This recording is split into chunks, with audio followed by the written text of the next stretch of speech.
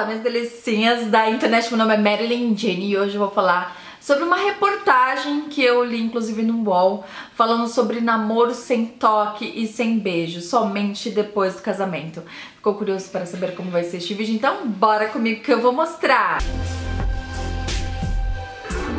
E eu sempre deixo aqui embaixo, na inbox de informação, vários links, sendo que um deles aí é o pompoarismo, para você ter uma vagina bem fortificada. Inclusive o pompoarismo é bom porque ajuda a prevenir coisas como, por exemplo, incontinência urinária, enfim.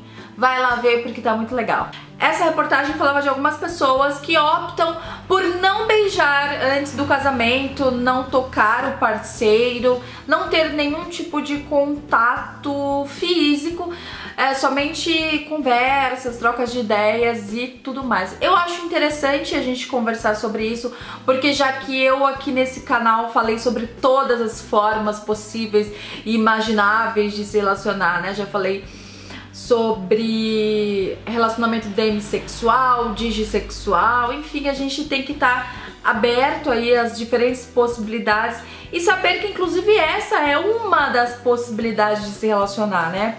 Quando a gente fala de relacionamento, não existe certo ou errado, existe o que o casal consente, né? Se está aí em concordância, os dois em harmonia de ter esse tipo de relacionamento, eu acho válido porque o que importa é o que eles desejam, né? O que cada casal aí entende como uma configuração ideal para o seu relacionamento. Esse tipo de relacionamento está muito ligado a algumas correntes religiosas, né? Eu já até conversei aqui sobre o escolhi esperar. Só que não necessariamente a pessoa que escolhe esperar não tem nenhum contato é, em termos de beijo tal. Tem uns que beijam mesmo. É, só não pode, no caso, o sexo, né?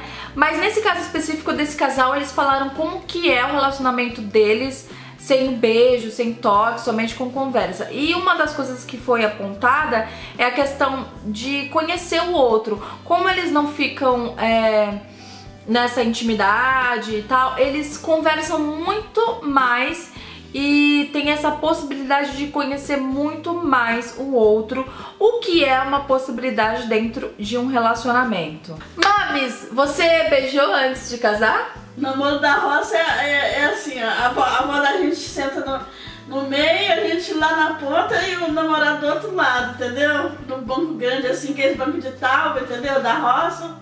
E a avó fica perguntando, que é o que? Mas não rolou beijinho com o não rolou beijinho? Só no rosto. Só no rosto? Incrível, é incrível.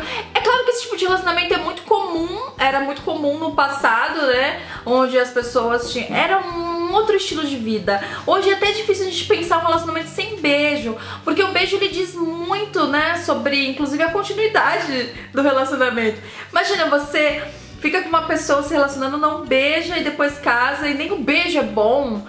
É, é claro que eu não tô falando que é, não estou julgando essas pessoas que fazem isso. Eu respeito, como disse, é, todas as formas, todas as possibilidades de amor, né? Existem inúmeras formas, existe muita diversidade, mas é um pouco difícil é, de é, entender.